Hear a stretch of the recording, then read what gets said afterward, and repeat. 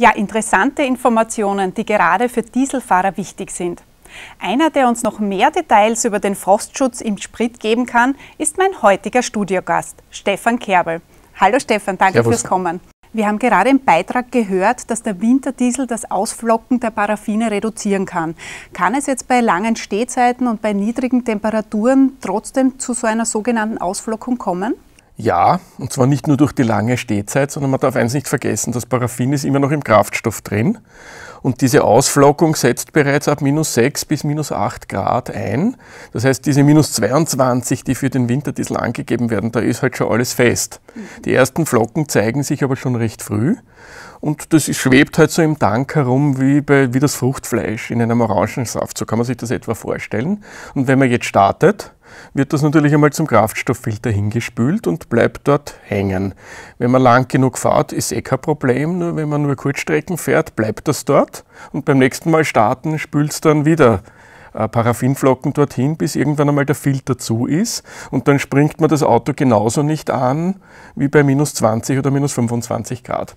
Kann man jetzt persönlich irgendwas gegen diese Flockenbildung tun? Ja, man könnte natürlich viel fahren, ich meine, es ist, äh, ist, die Frage, ob das gescheit ist, wenn man einen kurzen Weg nur hat, dass man dann extra Umwege fährt. Es würde schon genügen, einmal pro Woche oder alle paar Tage mal eine größere Fahrt zu unternehmen, weil wenn das Fahrzeug auf Betriebstemperatur kommt, kommt auch der Kraftstoff auf eine höhere Temperatur und diese Paraffinflockenbildung ist reversibel. Das ist umkehrbar. Sobald der Kraftstoff warm wird, ist das Problem gelöst. Auf der anderen Seite wird niemand jetzt freiwillig Umwege fahren. Es bringt auch nichts, irgendwelche Fließverbesserer noch mehr dazu zu lernen. Die einzige Chance wäre halt, einen Premium-Kraftstoff zu tanken. Du leitest jetzt gerade zu meiner nächsten Frage über. Es gibt ja eben diesen gesetzlich vorgeschriebenen Winterdiesel und den Premium-Kraftstoff. Wo liegt da gerade der Unterschied? Ja, man könnte ja meinen, dass das eine Mogelpackung ist. Sehr oft sind teurere Produkte nicht wirklich besser, sondern existieren halt nur aus Marketinggründen. Aus dem Grund, also aus diesem Verdacht heraus haben wir uns diese Kraftstoffe schon vor mehreren Jahren mal angesehen. Und es ist tatsächlich so, dass den, bei den Premium-Dieselsorten dieses Paraffin entfernt wird eigentlich in einem weiteren Verfahrensschritt und durch eine Ersatzsubstanz ersetzt wird, die tieftemperaturtauglich ist. Man könnte diesen Diesel auch Arktik-Diesel nennen, in den nordischen Ländern wird der auch verwendet.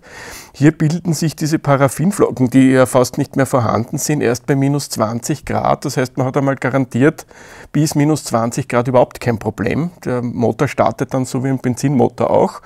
Nur auf die Batterie muss man natürlich trotzdem achten. Und wenn die Batterie schwach ist, springt mir auch der, der Dieselmotor mit dem besten Kraftstoff drin nicht an.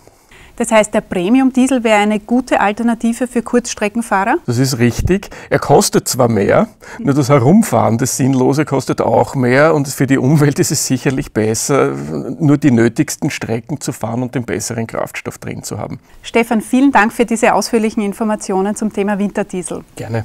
Wir wünschen Ihnen noch eine gute und sichere Fahrt durch den Winter.